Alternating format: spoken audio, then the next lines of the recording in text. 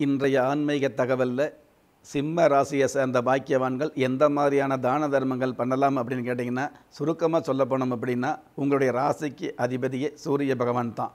ஆதித்ய பகவானுடைய அனுகிரகம் அதிகமாக இருக்கக்கூடிய சிம்ம ராசியை சேர்ந்தவங்க. பொதுவாகவே அன்பை வெளிப்படுத்தினால் கூட அதிகாரமாக வெளிப்படுத்தக்கூடிய சிம்ம ராசியை சேர்ந்தவங்க.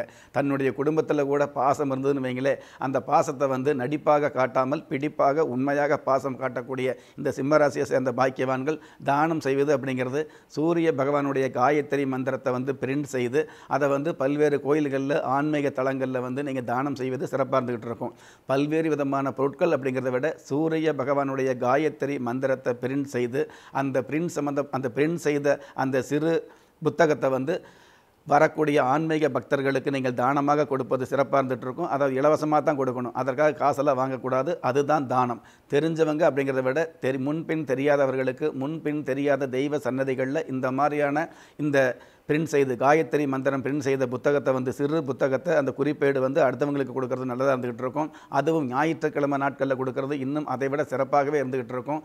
பொதுவாகவே இந்த மாதிரியான தான தர்மங்கள் வந்து பார்த்திங்கன்னா சிம்ம ராசிக்காரர்களுக்கு மேம்பட்ட அதிகாரத்தை கொடுக்கக்கூடிய திடீர்னு அரசியலில் செல்வாக்கு கொடுக்கும். அரசியலில் சாதாரண நிலைமையில் இருந்தால் கூட திடீர்னு பெரிய பதவி கிடைக்கக்கூடிய வாய்ப்புகளை கொடுத்துக்கிட்டு இருக்கும்.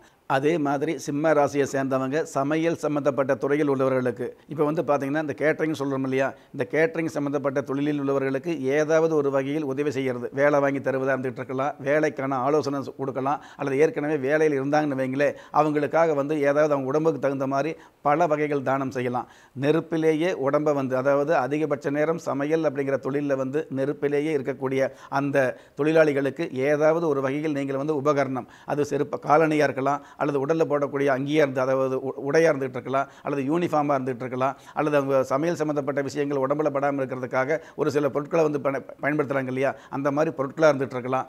அல்லது சமையல் பாத்திரமாக கூட இருந்துகிட்டு இருக்கலாம். இந்த மாதிரியான பொருட்களை வந்து சிம்ம ராசியை சேர்ந்தவங்க தானமாக கொடுக்கும் பொழுது அது நல்லதாக இருந்துகிட்டு இருக்கும். கோயில் மற்றும் ஆன்மீக தலங்களில் வந்து இந்த மாதிரியான சூரிய பகவானுடைய காயத்ரி மந்திரத்தை பிரிண்ட் செய்து அதை மற்றவர்களுக்கு தானமாக கொடுக்கறதும் ஒரு தானமாக இருந்துகிட்டு இருக்குது சிம்ம ராசியை பொறுத்தளவுக்கு.